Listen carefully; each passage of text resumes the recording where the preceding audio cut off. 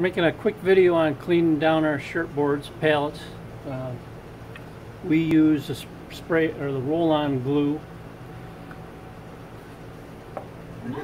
Go the someplace else.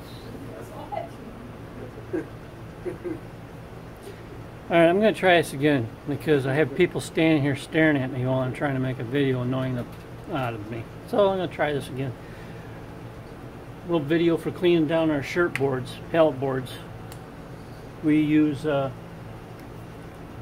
spread on glue for ours. So what I use, power sander, the green pads fit on there beautifully. Spray down with a little bit of water.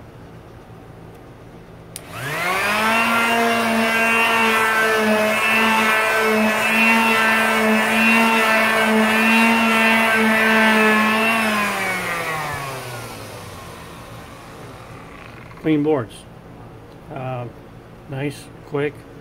Um, most economical way to do it, yeah, if you've got a sander laying around, would I go out and buy a sander just to do this? No.